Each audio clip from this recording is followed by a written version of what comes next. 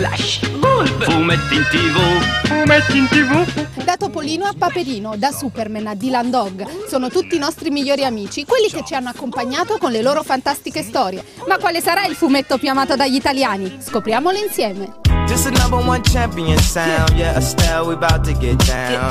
Who the hottest in the world right now? Just touched down in London town. Il fumetto più cercato in questo periodo è un, un fumetto di Thor che si chiama Thor per Asgard, è praticamente uscito da neanche un paio di settimane e la versione sia normale che quella con il cofanetto per racchiuderlo è già totalmente esaurito.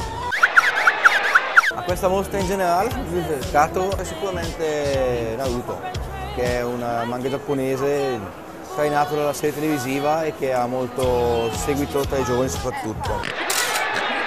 Quella del fumetto è una storia lunga, tutta da raccontare, magari a vignette. Ma come sarà iniziata e come sarà cambiata la storia del fumetto fino ai giorni nostri?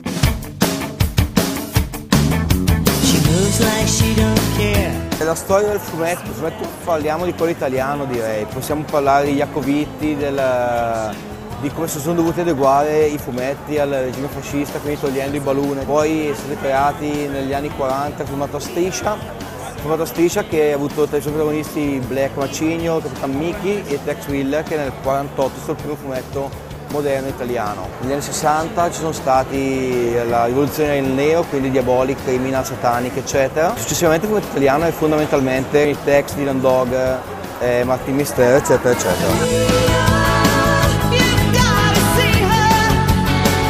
Ciao Mucco Pallino! Ciao Mucco Pallino!